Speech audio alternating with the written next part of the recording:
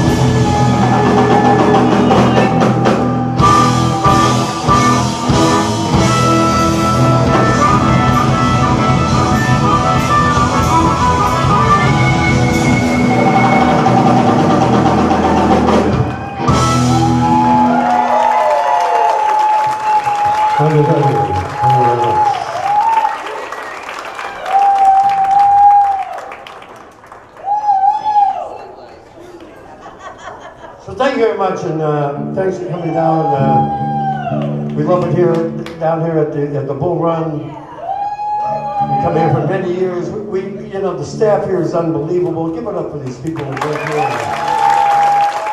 Best sound guys in the business, the whole thing. A little bit more vocal and harmonic, the monitor would be good. But anyway, listen, thank you very much for coming on down tonight. It means a lot to us. And I know there's many of you out there thinking right now, you know, you're thinking this, you're going, you know, I think they just played two Paul Butterfield songs in a row that they drastically rearranged. I know many of you are thinking that right now. Probably because we have just played two Paul Butterfield songs in a row, which we drastically rearranged. But anyway, have, thank you. I, I need all the help I can get up here, Marty. So guy walks into a bar, no, um, so check it out, we have a, a CD available here tonight. The band and the CD in the same room in the same night, oh my God. It's not just Halloween, and in New England we call that marketing. Marketing. So anyway, uh, so we, we decided uh, to do an, album dedicated to the late great Paul Butterfield. In our minds, one of the most important figures in the history of American music, and I can substantiate that for hours if you'd like me to. But instead, instead we'll just go out and play another song dedicated to Paul Butterfield, which we again have drastically rearranged. Uh, probably his most well-known song called "Born in Chicago."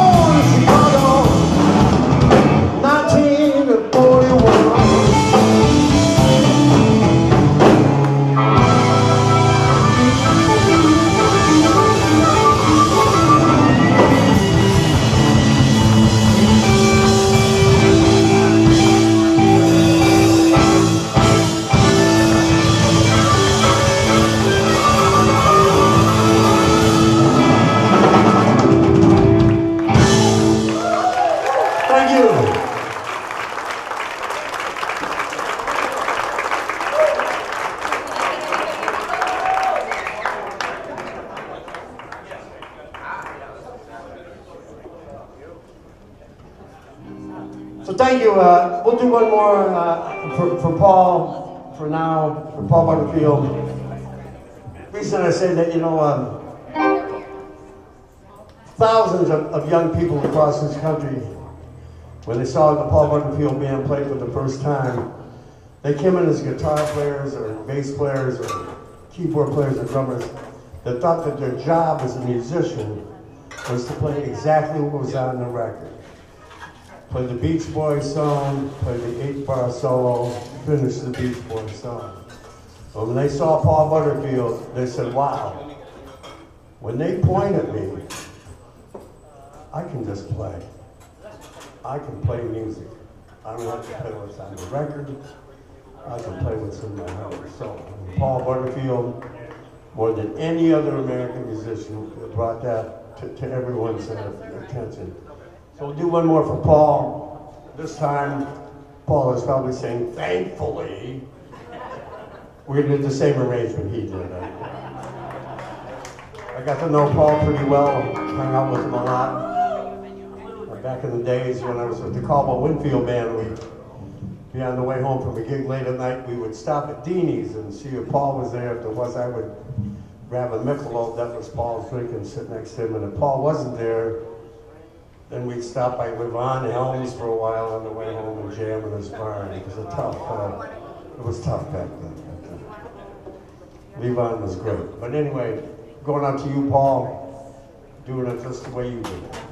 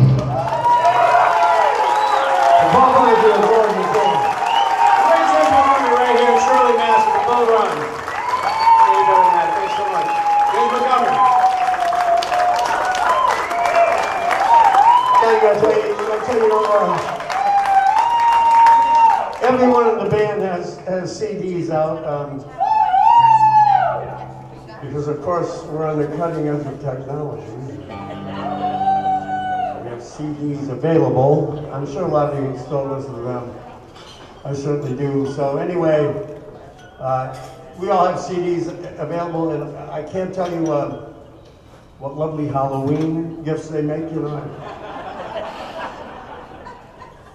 Or better yet, when those little goblins come to your front door on Halloween night, instead of Reese's Pieces or a favorite candy bar, how about a James Montgomery Band CD? And the bags of those little goblins to ensure that your house will be detect, protected from evil spirits for years to come. It's unbelievable. A small investment. So we'd like to give uh, David Hull a chance to play something from his CD. I'll introduce everyone in the band later on, but for right now, I'll just say to bring David up.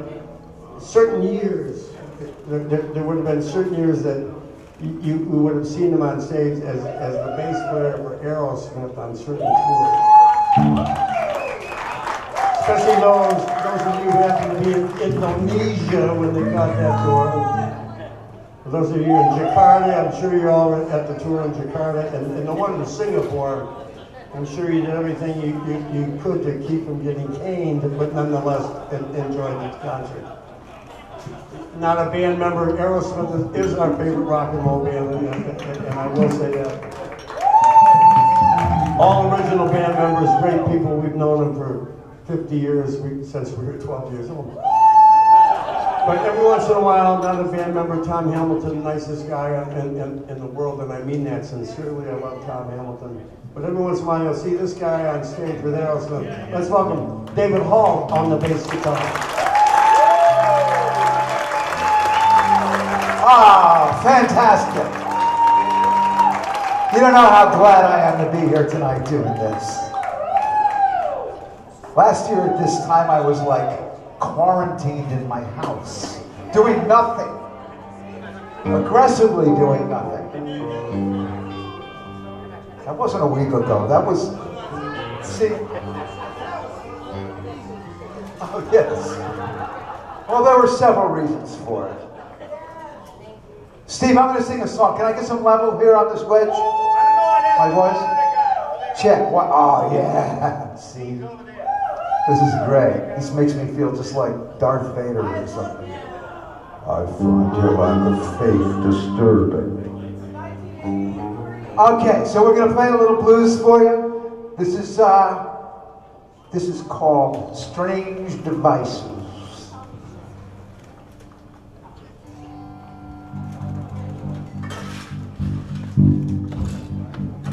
I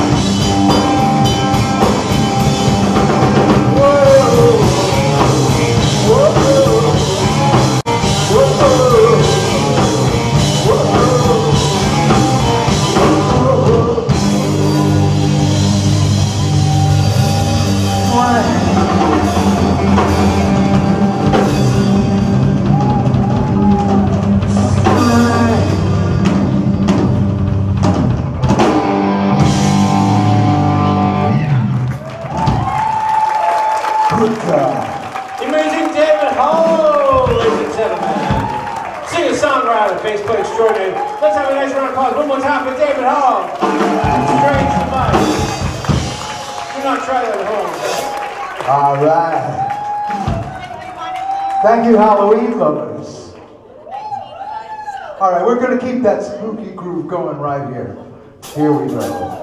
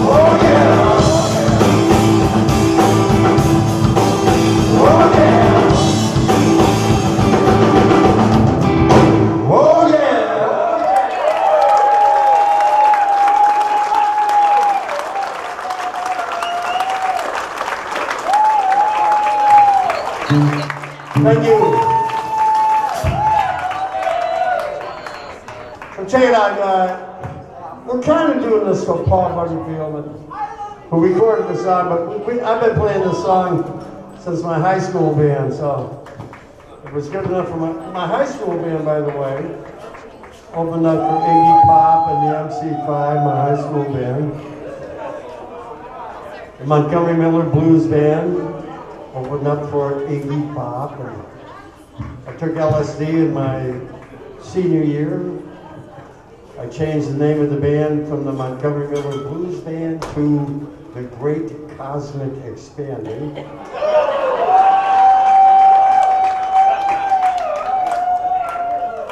Because of the internet, you get all this stuff. I got an article that was from 1967 that compared the Great Cosmic Expanding to Frank Zappa and the Mothers of Invention. My high, my high school band.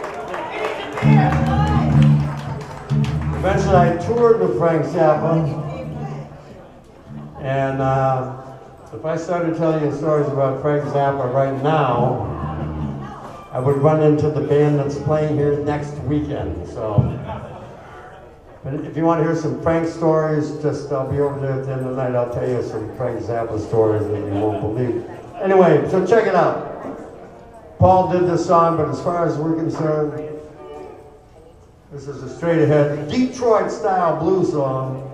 Everyone always asks me, what's the difference between Chicago blues and Detroit blues? Detroit blues is greasier. It's greasier. So check it out. Here, here we go. Detroit style blues. Key of A from the five.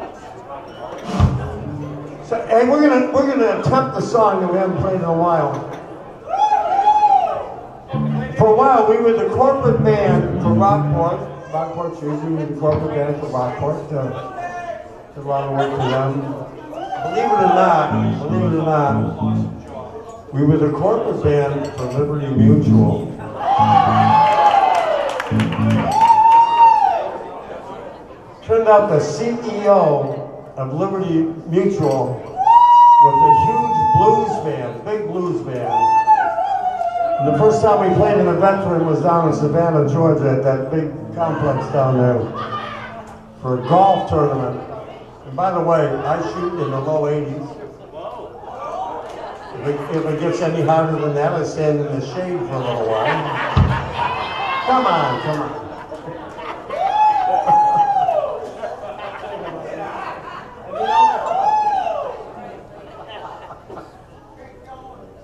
So anyway, we're going on stage, and the CEO from Liberty Mutual goes, the guy who runs the whole freaking shebang goes, do you guys play the Paul Butterfield version of Shake Your Money Maker? The CEO of Liberty Mutual. So in honor of that CEO, we're going to play the Paul Butterfield version of Shake Your Money Maker right now.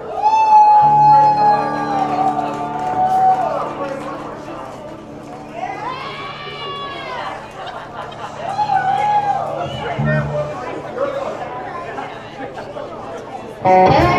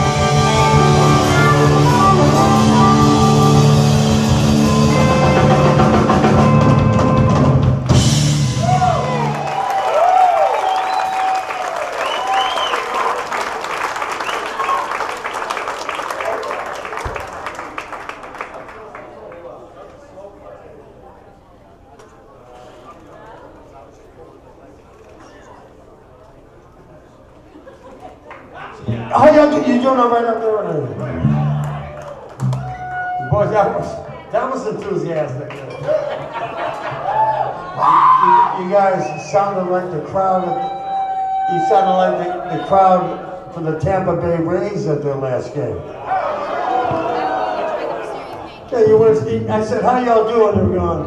Uh, like the the, that was a Red Sox comment, man. So let's pretend we're at, at, at Fenway Stadium tomorrow, at Fenway Park tomorrow. How you feeling tonight, ladies and gentlemen? Come on, man. We're having a great time anyway. So check it out. Uh, years ago, I wrote a dance song. That's how they say it. That's how they say. In Detroit, Michigan, a dance song. In Detroit, we go spectacular, man. That is fucking spectacular. But anyway, so uh, I, there, has got to be a dance floor around here somewhere. Anyway, this, this is the first and only dance song I've written in my entire life. I hope you enjoy it. Keep it a little while.